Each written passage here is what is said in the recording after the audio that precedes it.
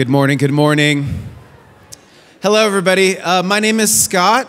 Uh, if this is your first time at Denver Community Church, great, me too. I've never been here before, but I'm friends with a lot of people in this community, and this is my first time here.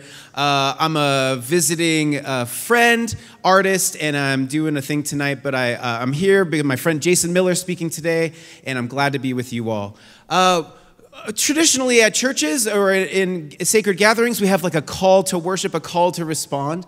Um, uh, vocationally i'm a visual artist. And so i was like hey could i ask invite the community to do some image contemplation as we prepare our hearts and our minds and our souls for our time together? So we're going to walk through a few images together if that's cool with you. The first one is uh, this is called kintsugi, and it's an ancient Japanese practice of breaking pottery. And then, guys, I want to let you know that I'm not going to do this image. Look, if you're a professional speaker and you're still doing, have you not heard of kintsugi? Speakers have been using this uh, metaphor for like 15 years, and it's over. Next slide. It's over. We're not going to use this metaphor anymore. If you're a professional speaker and you're using this, look at some art books. There's other things to look at. It's like if you're a and you're still using matrix uh, parables, all right? That's it. That's a joke just for me. Okay, let's do this. Look at this. If you if somebody asked you and they said, draw a candle and draw a candle flame, how would you go about doing that? How do you draw a candle flame? Well, if you were going to use like a white piece of paper and some graphite, you may outline the flame. But how you actually draw light is you have to draw all the things that are around the light. You draw the negative space around it, you reveal light. You can't draw light, you have to reveal the light. And in art, in, in art practice, we call this the negative space, right? The negative space. It's the space around the thing that helps reveal the image itself. You can go to the next slide.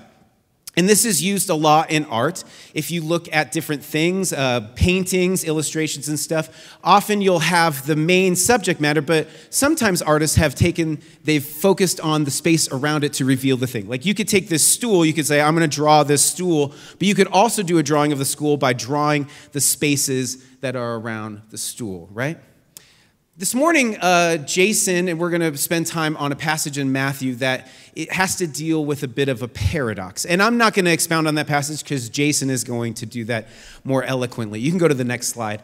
But it, one of the things that we find in dealing with paradox is that we're finding like ourselves in like two things and we don't know how to deal with it. And so we find ourselves in the mystery of it. And I wonder if we could uh, use the idea of negative space as like, how do we understand what it feels like to be in the middle space of it? Because often in our spiritual journey, there's a lot of things we can't focus on, but we can focus on the things that are around it that help illuminate the thing in the middle. Like in my own experience, it's taken surprisingly a good amount of sorrow to find joy. It's taken a good amount of darkness to see the light. And it's taken a good amount of like unbelief to find belief. I, I actually feel uh, like of late, I don't really know how to describe God to people. If people want to talk about God, I'm like, uh, I don't really know how to do that right now. Um, and I actually found that it's in the places of maybe like unbelief or, or, or not knowing how to describe God that gives me a picture of God. Because when I talk about God, look, I'm, it's not an old man in the sky. That's not what I'm talking about anymore, right? Um, one of the things that's really helped me is like gratitude. Gratitude has really helped me understand God a bit more. I, I think there's this really interesting thing in people that we all have this innate sense to say thank you at some point in our life. Like if Brad Pitt walked in this room, I'd be like, great, hi, Brad, thanks for coming. But if Ira Glass, the host of This American Life, walked in this room, I would put this microphone down, probably take off my coat and come and be like, thank you for all the work that you've done, right? Because this Ira Glass, this artist, had like created all the stuff that's really impacted my life. And because of the transformation I've received of that, I innately, there's this thing in me that just longs to say thank you. This has happened, I'm sure you've had the same experience. Somebody who's gifted you or, or you know, like transform your life, you, you, this desire to say thank you. To me, that leads to, lends or points to some kind of divine and sacred activity. Um, also, like consciousness. you know, I, I've been going through some uh, difficult things in my family. My, my son has gone through some hard surgeries of late, and there's been a lot of loss in our friend group and stuff like that. And I think that there's a certain aspect of life that feels hard and dark and, and meaninglessness, you know, but then I was talking with a priest friend of mine, and I was like, but we're all here, and it's kind of still a miracle that we're all here, and I'm kind of a miracle, and you're all a miracle, and you're all a miracle. Like, what is this thing? Who are we? This, this consciousness that's, that's it's worth spending some time thinking about. It helps me, this negative space helps me see that maybe there's, it points to the divine. I want to end on this last image. This is a painting called The Holy Night by Antonio da Correggio. I'm sure I said that wrong. Uh, he was an Italian artist, and uh, this was actually his first big church commission. And uh, it's, he did this interesting thing. You know, one of the things that's interesting in the Christian tradition is that uh, in the incarnation story of Jesus, uh, he was not born in some palace. He was not born to royalty, as a lot of other faith traditions have uh, stories about them. But he was born in, in the simplicity of human ordinariness. And in this painting, Antonio, or Tony, uh, as his friends call him, uh, he set the light source on the incarnation right? And then that incarnation was shining light on all of these other aspects of a human life. And I think in his faith, and what he's expressing, he's like, what I've found to be true is that this presence of God in my life helps illuminate all the other things, all the other aspects of my life. And, and I think this morning we're probably all here. If we took time to say, hey, how's your life going? What's going on? We would describe probably some wonderful things and some hard things, some mysterious things, some exhausting things. And it would and there may be some aspects of you're like, oh, I feel like I, uh, I can accomplish faith. And maybe there's other aspects of your life you're like, I don't know how to do this faith thing at all. And I wonder if those aspects of our life, maybe we could call those those negative spaces, that they would actually help us see that, that, that Christ is still in the midst of that, right? Uh, like those of you here, some of you are like tired parents or caregivers. And that space lets us know that, hey, love is a bit of a verb, which is a vintage DC talk uh, reference there.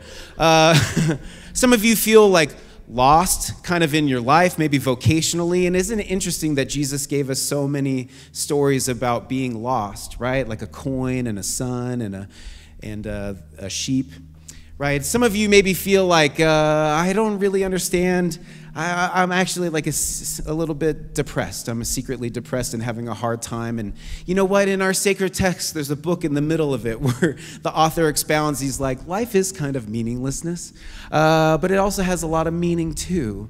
And it's in these, uh, this light and this dark, this negative space, this positive space that we find that we're transformed in the middle of that. So as we're going to go into song and sacrament and teaching this morning, just wanted you to think about maybe the images or the places that you find or you're in the, the negative space or the unknown space and, and how that could go together. Glad you're here this morning. Well, good morning. Good to see all of you. Um, I'm supposed to introduce someone who's not here. That's not a joke. Uh, I'll start and maybe he'll show up. Uh, anyway, good morning. Good to see all of you. As Scott said, uh, our friend Jason Miller is here. Uh, I first met Jason actually on a long telephone call about uh, five years ago, and I was instantly struck by how thoughtful he is, how intentional he is. Uh, and since that time, I've been able to experience his heart as someone who's able to hold difficult things with a ton of grace and a ton of humility and he truly has a pastor's heart. He's with us today, somewhere in this building, we assume. Um, I don't know if this is like part of his gig or whatever. Hannah, do we know where he is? He's where? Oh, there you are. Hey, I was just introducing. I was introducing you. No, there was there was just one song. Okay. this is going so well. Uh, so, Jason also wrote a book called When the World Breaks. And as I said, he's thoughtful, he's compassionate, he's able to hold hard things. And this book is really a reflection of that. And he's coming to share from his heart uh, about what he's learned, not only through his study and his hard work, but also through the life he's lived. So, would you finally welcome to the platform with me, Mr. Jason Miller?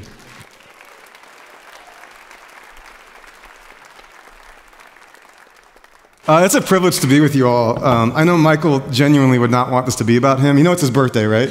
Yeah. And my first connection to Denver Community Church happened a few years ago when uh, we realized that your community had led out in a way that we wanted to follow, as far as including our LGBTQ brothers and sisters in our community. And so a mutual friend uh, introduced me to Michael, and he became a wise guide for us in that season and continues to be. Uh, and so through him and through a lot of your team, I've gotten to know your community. Our team was out here in October. Uh, we love you all, and it's really a privilege to be here. Um, before I get into this, this is a little awkward, but Becky on slides, can you get rid of the kintsugi slide? At the center of my talk, the broken pottery, just get rid of that. We're going to move on. Great. I kid. Um, anybody been to Lower Manhattan and seen this particular memorial? Let me put it on the slides here. Yeah, it's from 9 11. Yeah, you might know this. Uh, this is a memorial that's built on the exact footprint, there's two of them, uh, where those two buildings fell back in 2001. And if you've been there and stood at the edges of this thing, you know it's kind of massive and kind of haunting. Uh, one of the designers of it says that this uh, architecture is called the void. And they said they did that to render absence visible. And I, I, put that in front of you uh, because it strikes me that we could have done other things there. Now, maybe to you it seems inevitable that as a people we would have built a memorial to what was lost on 9 11. But if you think about our actual reactions to loss and grief, it strikes me that if you took those reactions and projected them into this experience, we might have done something different. Like there might have been an impulse to simply pave over that place, to just sort of act like nothing had ever happened there, right? So that you could walk there and be unaware of the massive loss that occurred for all of us on that day? I mean, that's a lot of times what we do with loss, isn't it? Just kind of pave over it, try to cover it up, pretend it's not there. Or, or maybe right there on that exact footprint rather than next to it where we did do this. Maybe right there on that exact footprint, we might have just built something bigger and shinier, as if to say, like, you can't defeat us, right? Although I suspect we would have built that not just to give a message to our enemies about our strength, but to say something to ourselves about our strength, because grief unnerves us. And it leaves all kinds of sort of rattling existential questions in us about why we are so vulnerable. You know, you can just be like trucking along, having built the life that you love, and then something happens completely out of your control with no regard for whether you wanted it, and all of a sudden something or someone you loved is gone. And you have to figure out what you're going to do with that void, right? I raise this uh, for a couple of reasons. Uh, one is I think the last few years have brought extraordinary loss. I mean, I know every season of life as human beings brings loss, and the loss could be the loss of a dream, or the loss of a relationship, or the loss of like a really nice arrangement, or the loss of security or safety, or something that makes you feel really good in your life, or it could be the loss of an actual loved one. And I just think it's obvious and plain that the last few years, because they've brought extraordinary change through pandemic life and changing economics and politics and everything else, change means loss, and so we're facing a lot of it and we have to figure out what we're going to do with it. And I also raise this because, uh, like Scott mentioned earlier, I've been wrestling for quite a while now with these very strange things that Jesus says in the beginning of the book of Matthew.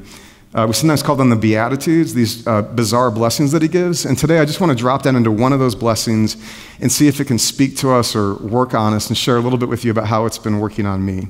Uh, so, this is where we're going today. It's Matthew chapter 5, verse 4. If you've got Bibles, you can find it there.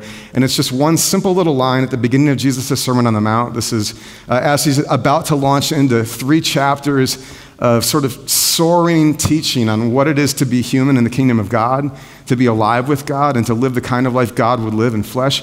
But before he gets into all of that, he gives these strange blessings. And in Matthew 5, verse 4, with the second blessing, he says simply this Blessed are those who mourn, for they will be comforted. And I want to work that out with you. I want to like wonder with you a little bit about where he gets that from and, and how it might work on us. So for a minute, let's talk about where he might get that from. For Jesus, a first century Jewish teacher, to stand up and talk about mourning or loss, uh, it strikes me and it strikes a lot of people that he's probably borrowing from this deep well of wisdom that his people had uh, sort of worked out in a prayer book called the Psalms. And I know some of you are like super familiar with the Psalms, known for greatest hits like "The Lord is my shepherd," uh, like things that get embroidered on pillows, right? Uh, lots of strange prayers in the Psalms there too. But this is the prayer book of the Jewish people. It would have been his prayer book. He would have known it cover to cover. He would have been formed by it. He, he would have learned to pray from these prayers. And there's some interesting things that you'll learn if you observe these prayers. So, first of all, uh, there's this scholar named Gunkel 100 years ago, and Gunkel's looking at the Psalms, and he says there's basically three kinds of Psalms. There's three big movements that happen, and out of 150 Psalms, all of them seem to fit into one of these three categories. So, the first category he mentions is praise. These are the ones that are pretty straightforward. They're like, God, you're great. Now, I don't know if you like feel that welling up in you, uh, and I don't know if you would be prone to say something like, God, you're great. But if you've ever had a day when everything just kind of fit together, like your life is good and you're aware of it, you know where you're going and you can feel it, that's the kind of sentiment expressed here. It's just the feeling that like up is up and down is down and you can find your place in these things and life is good. And for the psalmist, for the person who's kind of prone toward prayer, that turns into just God, you're great, just straightforward, right? Those are psalms of praise. Then you've got Psalms of Thanksgiving, which are very similar.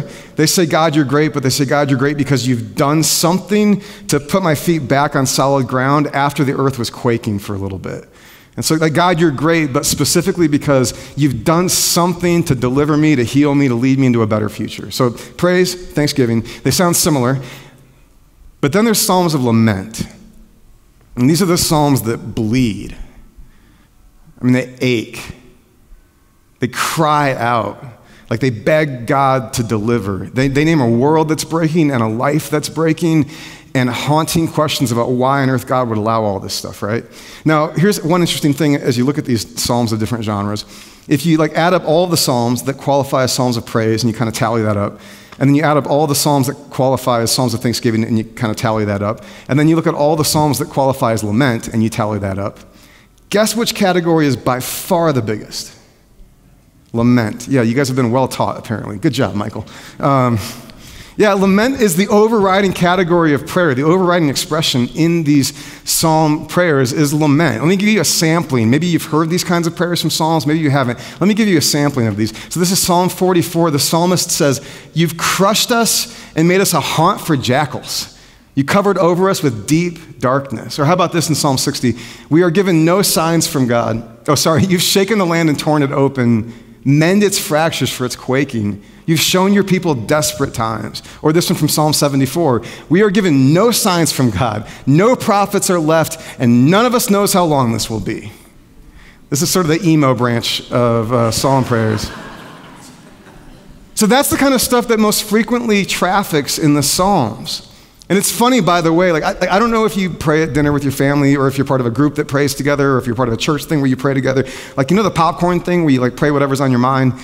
Like, yeah, I, I just try to picture like somebody showing up at prayer at dinner or like popcorn prayer with your small group and it's your turn to pray and you're just like, Lord, you have made us a haunt for jackals. and I suspect that people are worried about you, right? Because this kind of like raw, naked lament is not the ordinary modality of our connection with each other, and it's not the way that we imagine meeting God together. But in the Psalms, it's often the way that they imagine meeting God together by naming these really hard losses that they faced. So that's an important observation, and I wonder if that informs the way that Jesus speaks when he says, Blessed are those who mourn, for they'll be comforted. But there's something else that goes on in these Psalms. There's a feature, if, if you looked at all the Psalms of lament, you'll notice that they all kind of have the same two part movement. They, they, do two basic things. So, out of the gate, they, they lament, they cry out, they, they name the thing that has happened either poetically or directly. They get really uh, raw about it. And then they turn to praise. There's a psalm that begins, My God, my God, why have you forsaken me?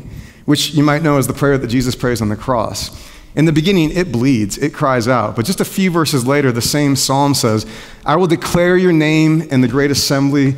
Uh, from you comes the theme of my praise.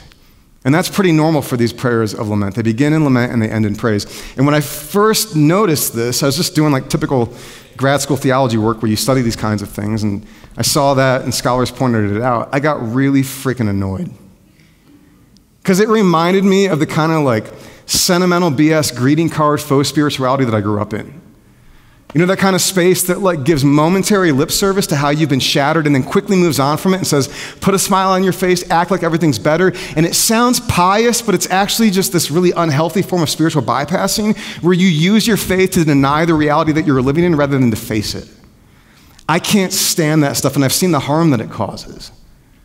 I mean, I know that there are times when somebody can authentically move quickly from lament to praise. And that can be a beautiful and powerful movement in your life. But more often, what I've seen is so many of us who we were just told or taught that that's what you're supposed to do.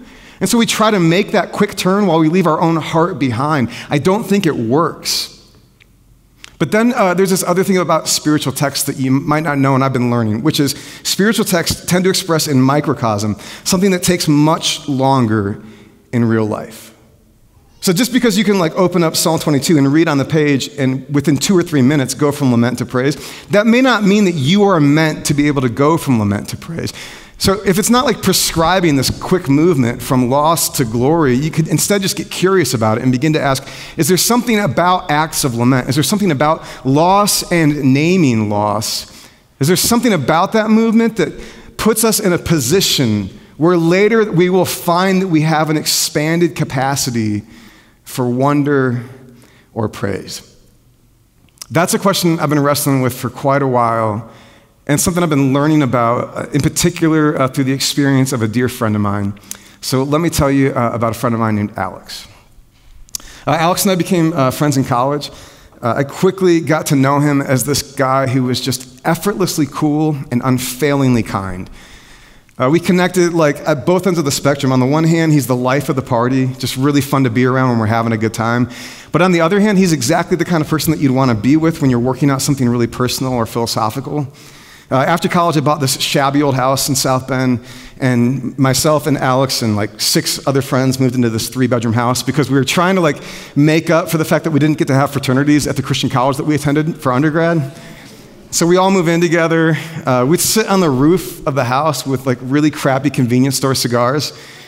And we just kind of like talk about things that we were wondering about. I smoke better cigars today, don't worry. Um, we'd uh, go downtown to South Bend to Fiddler's Hearth, this uh, old Irish pub there, and we'd order pints of Guinness trying to make up for the, lock, the lack of beer consumption during college. And we would just kind of talk about all the things that we were wondering about and wrestling with. And like through all of that, I just, um, like many who knew him, developed a real affection for this person and who he was. Uh, while we were living together, I could sense he had these like big energies inside that wanted to be channeled into something meaningful.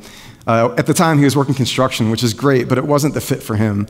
And so then one day, I wasn't entirely surprised when I got home and he'd been waiting for me. And he said, Hey, I want to show you something. So we go up to his room, and on his computer desktop screen, he shows me the website for this fledgling nonprofit whose mission was to raise awareness and activism on behalf of child soldiers being exploited in Joseph Kony's, Kony's war in uh, Central Africa. And you could just see the energy in him. He lit up, and I had a feeling he would be leaving soon, and he did. So he moves out to San Diego, where he takes up the cause. Well, eventually, after interning there, um, Alex landed in a position where his job was to reach out to artists, and these artists would use their platforms to help others learn about what they were doing. And so I would be getting dispatches from Alex. He would be like on tour buses and in backstage green rooms with all my favorite rock stars. And like, it's, it's like everybody fell in love with that same effortless, cool, and unfailing kindness. I remember one day while he was out there on the road, I got a package in the mail, wasn't expecting anything, and I open it. It's a book. It's a book by a philosopher named Aristotle. The name of the book is Nicomachean Ethics, which doesn't really matter. But in the book, the philosopher talks about friendship, and he says there's basically three kinds of friendship. He says there's kind of lower forms of friendship where you're really kind of using each other, but then he says there's this beautiful and virtuous kind of friendship where you're drawn to the good in them and they're drawn to the good in you. And they want to draw the good out of you, and you want to draw the good out of them. You're rooting for the best part of them, and they're rooting for the best part of you. And he, with no note, had simply uh, drawn a bracket around that paragraph and put an asterisk next to it, which is like a typically cool way for Alex to do something really kind. Uh, a couple years later, uh, he fell in love with uh, the woman he would marry, uh, Beth. And Beth was living in Nashville, Tennessee, so Alex moved to Nashville to be with her. And then he started kind of cryptically asking me about different dates and whether I would be in Nashville, which is my way of realizing he was asking me if I would officiate their wedding. And so uh, after we worked out the calendar, I found myself there in Tennessee on this beautiful afternoon under this massive old tree. And I had the, the joy and the privilege of watching Beth and Alex make their vows to each other. a couple months later, I got a text from Alex. It says, Hola, amigo. Thought you'd want to see the newest mini member of our family. And then he sent me a picture of the ultrasound. And I, I, could just feel that after all these years of sort of running around and chasing big dreams, he was finding a different kind of joy in having a family and digging roots. And all of that joy and rootedness made the next thing really, really confusing for me. Got a text uh, from another friend, Matt. And Matt said, Hey, man, uh, you have a minute? I call him. Uh, and he asked if I'm alone. Uh, I say, Yeah. And then he tells me Alex had died by suicide.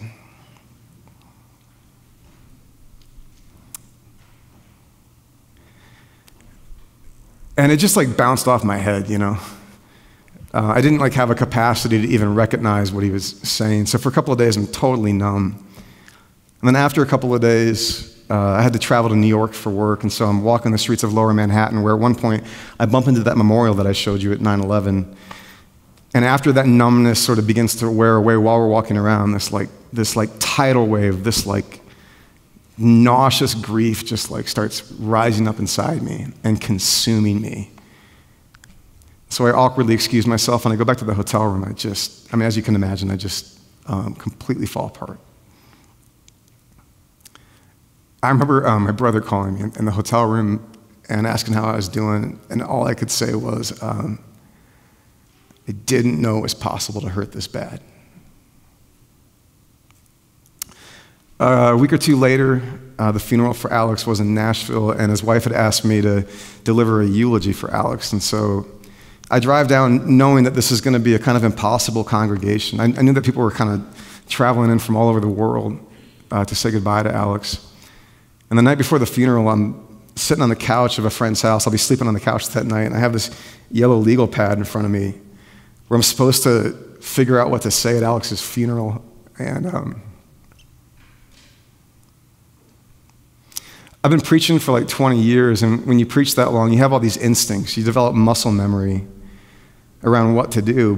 But the bizarre thing is, like, a lot of those instincts have to do with explaining things. Let me kind of help you chart a coherent path through this mystery that you were walking in. And as those instincts tried to kick in, I could just feel how wildly inappropriate that would be. To presume to get up in front of that unlikely congregation and try to explain this moment. Um, so that, that really rattled me because I'm like, well, I got to do something tomorrow. And, I, and none of my instincts are helping right now, you know? And I remember praying with a, a kind of desperation that night that um, I haven't often prayed with. Because I wanted to do right by Alex and I wanted to do right by his wife. And I thought about his parents and I thought about his brothers. And I thought about how alone he must have felt, uh, even though he wasn't alone at all. But after a while, just like sobbing and feeling completely lost, a different kind of clarity emerged, and it reminded me of that void in New York City where there's no explaining, there's, there's no wrapping this up. You simply build a void and give witness to what was lost. Just that.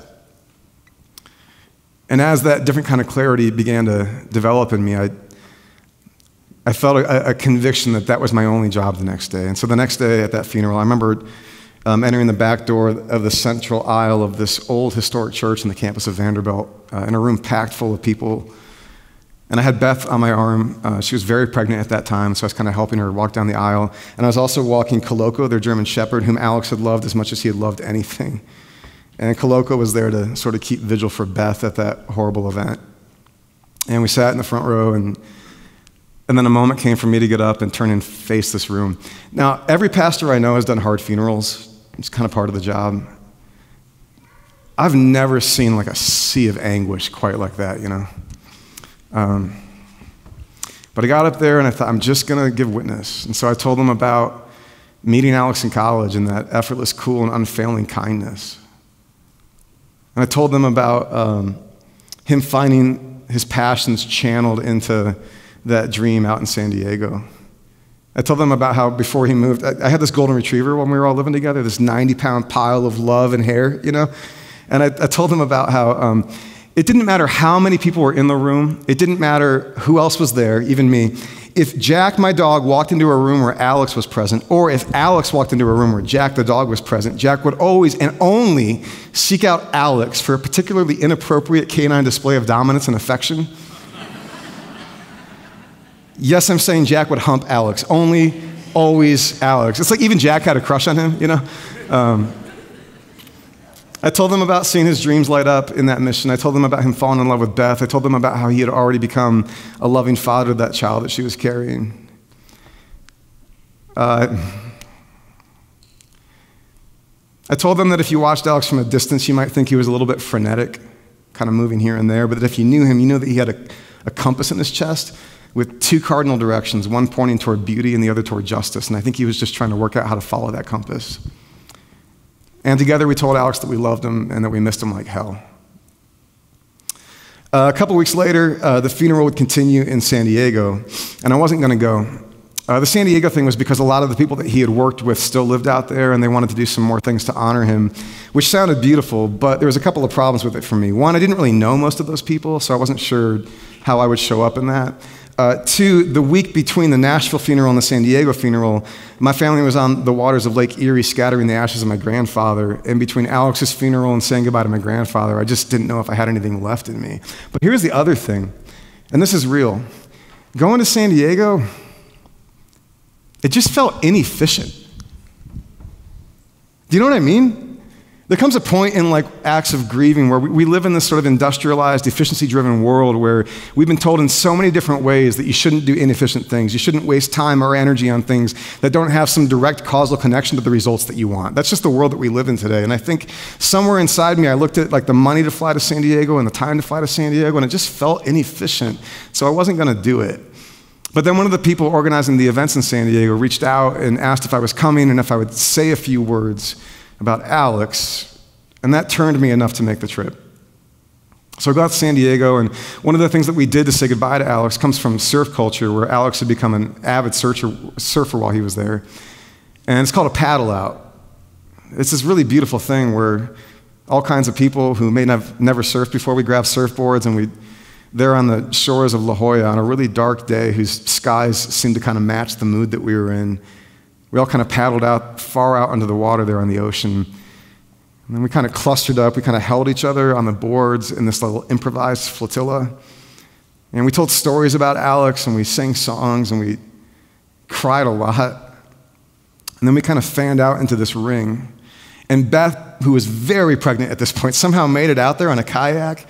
And she was wearing a lei in honor of Alex. And so she took the lei and she threw it out into the middle of the water. And we dug our hands into the ocean and we splashed toward it in an act of love and honor. And even as I'm just sobbing, I remember having this feeling. It's like, um, you know, when you see something in the peripheral vision, and if you try to turn your eyes toward it, you lose it?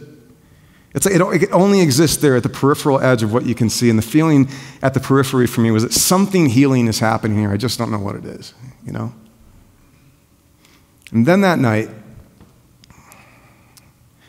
uh, this is the part of the story that's hard for me to tell.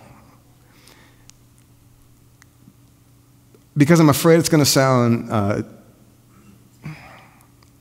insignificant or like too woo woo. Um, and I'm not prone to woo, by the way, it's not my, my type. Um, but I just have to trust you with it. Because this is important in the story, and I just have to trust that you're going to like go with me into this moment. And it's simply this. That night uh, on the shores there in La Jolla, I looked up and the sky was set on fire.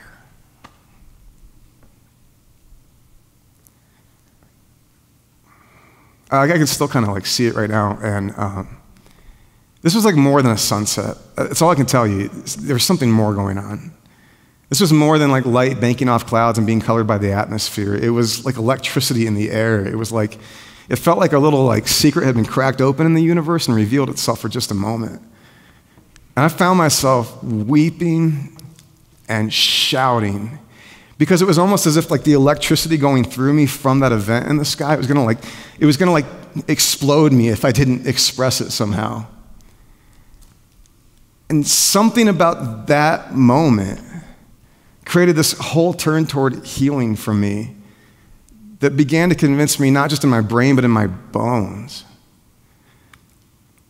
um, that in some strange way, nothing had actually been lost. Now, let me try to work this out with you a little bit theologically. And I don't know if this will work for you. Um, this is just me reasoning with you about what I see in the text. And you can push back or you can walk away and say, dude from South Bend is weird. That's fine with me. You can take this however you want. But this is the way I've begun to work this out. And it, starts with an observation that the writers of Scripture had a fundamentally different relationship with the things that they saw and tasted and touched and smelled and heard than you and I do. Because for a couple hundred years, you and I have been living in this whole, this whole world of, of thinking and experience that says there's nothing more here than what meets the eye. It's a sort of one dimensional reading of the reality around us, but these ancient writers had a three dimensional reading. They, they, saw a depth in things, a, a, capacity within things that transcended the material. Uh, you see little hints of it in the Psalms. Like in Psalm 19:1, you read this The heavens declare the glory of God.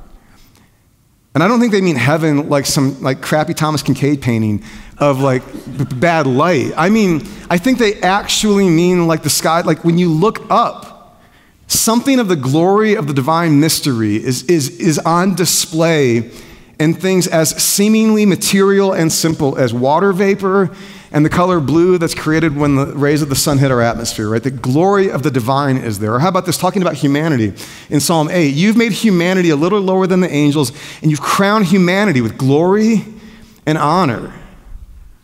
That there's a, a divine glory radiating in every life around you in this room right now, and yours too. A divine glory radiating more than skin cells and blood pumping, a divine glory in the people around you. There's another psalm, a Psalm 42, that says, Deep calls to deep. And I, have begun to wonder if what the psalmist means is that there's a depth within you that senses the depth around you. And I've begun to think that when we grieve, when we really lose something good or beautiful, it's that depth within you that mourns the loss of that depth, of that glory, of that divine fragment that you were encountering in that person, in that dream, in that beautiful arrangement, in that good thing that you had. Which means that like you're mourning that grief that you feel, that thing that makes you nauseous sometimes and makes everything gray sometimes and makes you want to uh, weep sometimes and makes you want to lash out sometimes, that that comes from a place inside you that sensed the depth around you, a kind of divine radar inside you. Which means that your losses are more than the simple sort of uh, psychological inconvenience of a lost attachment. Even though I think that's also going on, I'm like all for good psychology. I just think there's more going on there. There's that deep place within that senses the loss of the deep around you in that person or that dream or that thing that's no longer here. But then, what I've also come to believe is that uh, if it's good or if it's beautiful, it can't be lost because the good things and the beautiful things are of God. And if it's of God, I don't think it can be destroyed perhaps it can only be transformed. And so I, I, would just tell you today, like, not just in my brain, but like in my bones. Uh, through moments like that night on the beach in La Jolla, I've, I've come to believe in my bones that what I'm being taught is that the good and the beautiful that I loved in my friend Alex, it hasn't been destroyed, it hasn't disappeared, it's simply been transformed. And that by grieving, by actually ritualizing that loss, by turning to moments of lament, by enacting the things that help us give witness to, the, to, what we have lost, that somehow those processes, somehow those movements, somehow those brave acts reinforce your capacity, your connection to that place within that senses the glory around you. So when you ignore your grief, when you pave over it, when you medicate it, when you just decide that you're not going to be subject to your grief, the tragedy is that you're cutting yourself off from the very capacity within that could then lead you later to comfort. Because the same thing that you were cutting yourself off from, that same capacity that God has given us, the deep within you that senses the deep around you, if you don't want to live in relationship to the deep within you, you're not going to live in, in relationship to the glory around you. Because it's that deep place that senses those things. So, this is why, like, if you've lost something, whether it's a loved one or a dream or um, something that mattered to you, something that was good and beautiful, I would, like, I would encourage you, like, write a letter to it, build a monument to it, carve out a void to give witness to it. Not so that you wallow in it, but simply to give witness to the good and the beautiful that was there And in doing so, you might find that the deep within you speaks a little more loudly to you again. And the pain might come from that place, but then the praise might come from that place. And this, I think, is why the psalmists know that stories that begin in lament turn into celebrations of glory. Uh, let me observe quickly for you this isn't just uh, an insight for personal loss, this is also really important for social and systemic matters that we are facing. I mean, this same wisdom is why it's important for us to hold candlelight vigils in the wake of mass shootings. It's why it's important for us to say the names of those whose lives have been lost in discriminatory and unjust uses of power. Because, you know, those lives, those are sacred vessels. And even while I think the good and the beautiful in them hasn't fully been destroyed, it's important for us to give witness to what was lost. Because when we give witness to what was lost, we might little by little, step by step, become the kind of people who will defend those lives rather than ignore the fact that they're being treated that way. Now, um, if all of this sounds a little weird, I get it. Uh, the bad news for you is like pretty much everything Jesus does is weird. I mean, all the Beatitudes, they're bizarre. Uh, when the Beatitudes begin, blessed are, when Jesus says, blessed are the poor in spirit, or blessed are those who mourn, I know blessing can seem kind of, I don't know how you feel about that word, like hashtag blessed, might be kind of strange for you. Um, but I take this from other scholars who've worked on this. When he says blessed are, he is heightening the expectations of his hearers because blessing for them in the Jewish imagination means a divine insurance policy against suffering.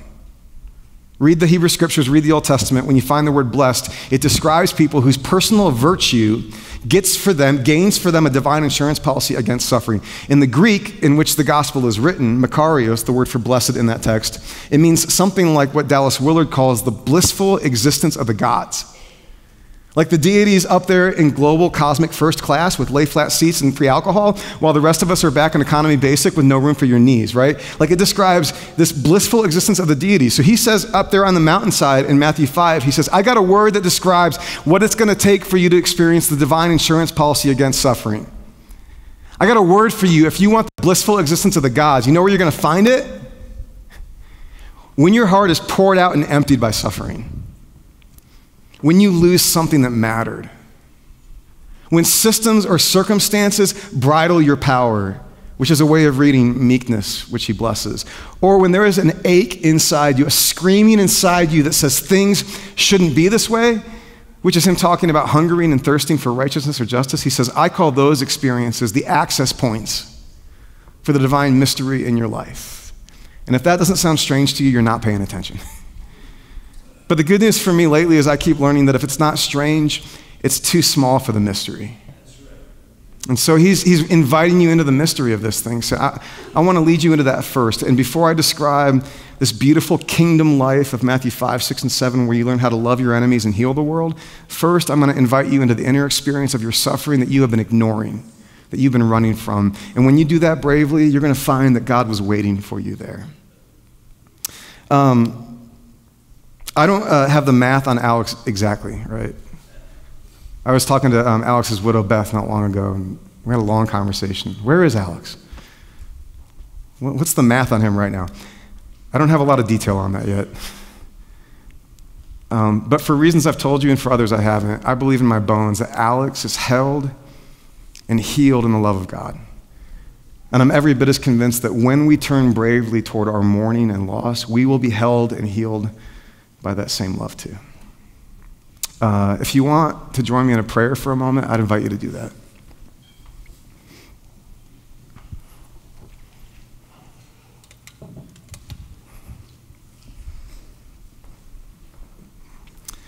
Uh, loving God,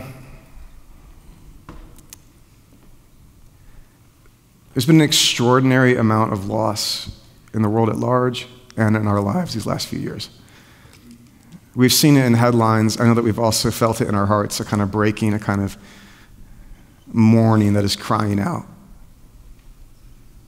And yet, we have been taught in so many ways through our lives that mourning is inefficient.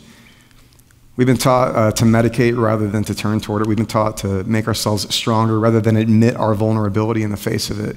And yet, in the face of all of those lies and misdirections, I pray that we would hear today the blessing Jesus gives. And that when the time is right, when life calls us to it, that we would turn toward mourning as an act of faith. And that we would trust that simply giving witness to the good and the beautiful things that we have lost may someday, somehow, lead us into a new capacity for praise or wonder. Uh, even now, if there is grief in the room, if there are hearts that are crying out with a kind of painful loss, I pray that somehow in this moment you would whisper a kind of blessedness to the people who feel those things. And that you would begin us on the path that would lead us to a fresh encounter with the glory that will heal us. And I pray through Christ. Amen.